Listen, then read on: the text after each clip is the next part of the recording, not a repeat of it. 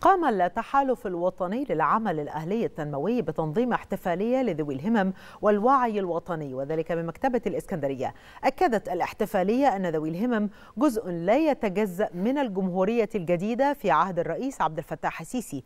وجهت الاحتفالية رسالة قوية إلى المجتمع المحلي والدولي بأن مصر تهتم دائما بهذه القضايا الإنسانية.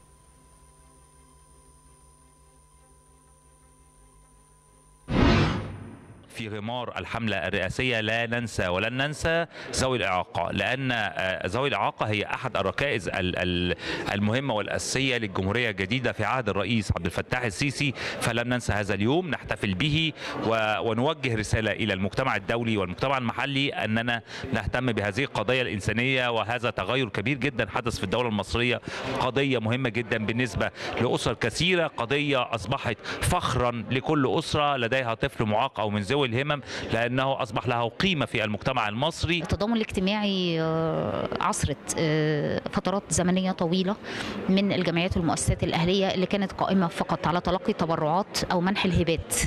النهارده الجمعيات بقى فيها تمكين اقتصادي، بقى فيها تمكين اجتماعي، بقى فيها رفع وعي سياسي. الحقيقة الواحد مش عارف يتشرف بإيه ولا بإيه. وجودنا النهارده بجد رسالة لكل العالم لمصر آمنة مستقره مستقرة تعمل. لا تقف صامتة.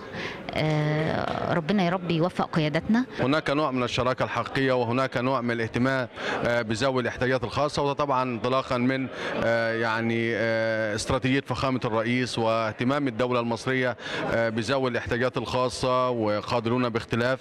النهاردة إن شاء الله تكون احتفالية كبيرة تجمع كل أبنائنا ذوي الاحتياجات الخاصة سواء في العملية التعليمية أو في مؤسسات المجتمع المدني. بنظم لقاء كبير معنا مختلف الوزارات معنا الحكوميين معنا التحالف عن ذوي الإعاقة والوعي الوطني.